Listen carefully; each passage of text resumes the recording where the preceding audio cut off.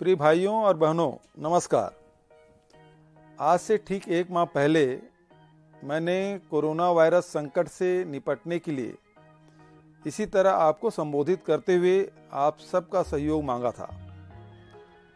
आपको सच कहूँगा, जब पहली बार कोरोना वायरस से बचाव के बारे में आपसे सहयोग की अपील कर रहा था तो मेरे मन में कई आशंकाएँ थी।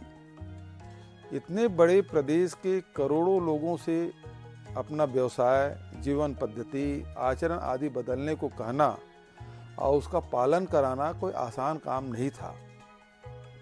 लेकिन आप सबने जो अनुशासन, संबल और संकट से निपटने की जिजीविषा दिखाई है, वो विलक्षण है।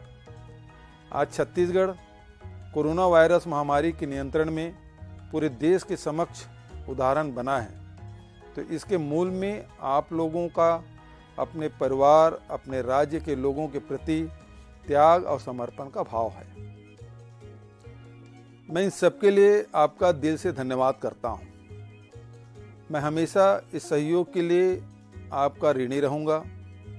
मैं धन्यवाद करना चाहूँगा सभी चिकित्सकों, स्वास्थ्य कार्यकर्ताओं, जिला और पुलिस प्रशासन खाद्य महिला बाल विकास, नगर निगमों, नगर पालिकाओं, जनसंपर्क विभाग के समस्त कर्मचारियों का, जिन्होंने 24 घंटे इस संकट से निपटने के लिए कार्य किया। मीडिया के बंधुओं, स्वयंसेवी संस्थाओं और सामाजिक संगठनों का भी आभारी रहूँगा, जिन्होंने हर पल हमारा सहयोग किया।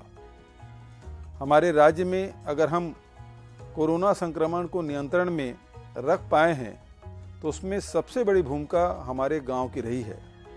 छत्तीसगढ़ गाँव का प्रदेश है और हमारे ग्रामीणों ने स्वेच्छा से अपने गाँव में जिस तरह फ़िज़िकल डिस्टेंसिंग और साफ़ सफ़ाई का पालन किया है, वो अद्भुत था।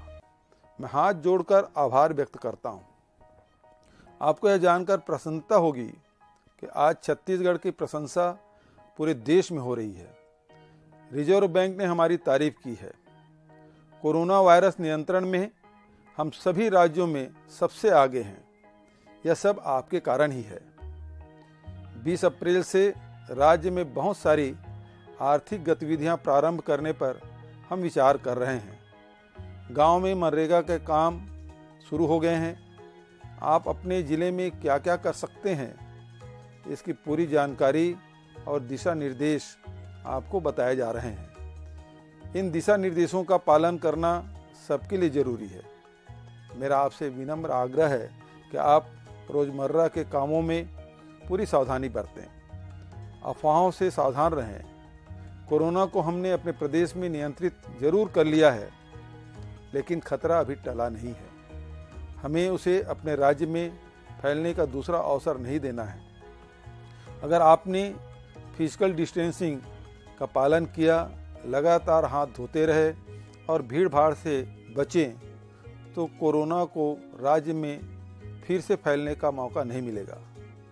एक बार फिर मैं आपको सहयोग के लिए आपका आभार व्यक्त करता हूँ। हमारी एकजुटता ही हमारे प्रयासों में पूर्ण रूप से सफल करेगी। धन्यवाद।